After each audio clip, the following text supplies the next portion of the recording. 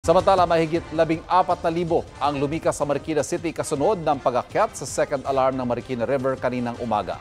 At nakatutok live si Sandra Ginaldo. Sandra. Ivan, patuloy na minomonitor ang Marikina River matapos nga um- umabot ang antas nito sa mahigit 16 meters above sea level kaninang umaga. Ngayon naman, Ivan, ay nasa alert level 1 na lamang. Pero libo-libo po na ating mga kababayan ang nananatili sa evacuation centers. Sa pagulan mula kahapon hanggang ngayong araw, unti-unting tumaas ang antas ng tubig sa Marikina River. Alas 12 na madaling araw kanina, naabot ang 15 meters above sea level na hudyat ng alert level 1. Ibig sabihin, dapat maghanda ang lahat. 1.40 a.m. kanina, tumunog ang second alarm nang umabot ang tubig sa 16 meters above sea level. Hudyat na ito para ma-evacuate ang mga nakatira sa mabababang lugar. Pero pasado alauna ng hapon, bumaba ang tubig sa 15.8 meters, pasok sa alert level 1.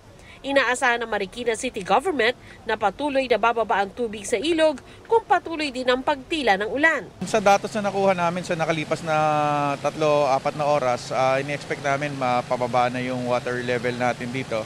Dahil yung buhos naman ng ulan hindi na ganun kalakas. Medyo naantala din yung pagbaba niyan kaninang umaga kasi napasabay din siya sa high tide. Kaya yung flow niya pababa ng uh, Manila Bay hindi naging ganun kabilis. Mabuti na lang daw wala namang pagbaha sa mga komunidad. Sumampa lang ng bahagya ang tubig sa Marikina River Park Jogging Lane. Nang humupa ang tubig, naglinis agad ang mga kawani ng City Hall.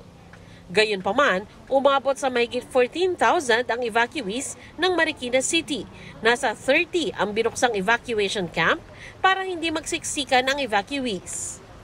Sa Santo Niño Elementary School, nasa 10 tao lang kada classroom ang evacuees.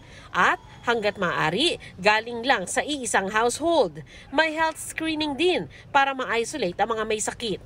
Ang 66 years old na si Romeo Ancheta natuto na raw sa mga bagyong Ondoy at Ulysses na nagdulot ng matinding baha.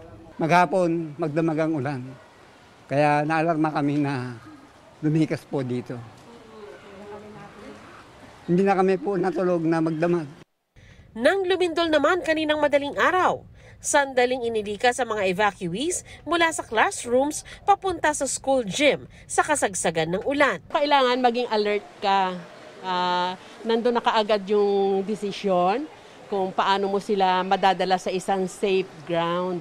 Agad ding pinabalik ang mga evacuees sa mga classroom matapos matiyak na ligtas na ang sitwasyon.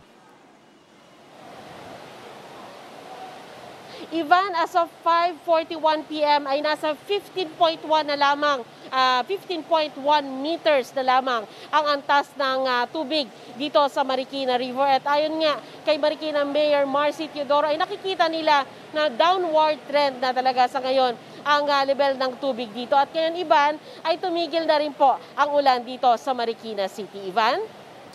Maraming salamat, Sandra Aguinaldo. Magandang balita mga kapuso, kahit ano pa man ang oras, mapapanood ang 24 Oras Weekend at iba pang newscast sa youtube.com slash GMA News. I-click lamang ang subscribe button. Sa mga kapuso abroad, maaari po kaming masubaybayan sa GMA Pinoy TV at www.gmanews.tv.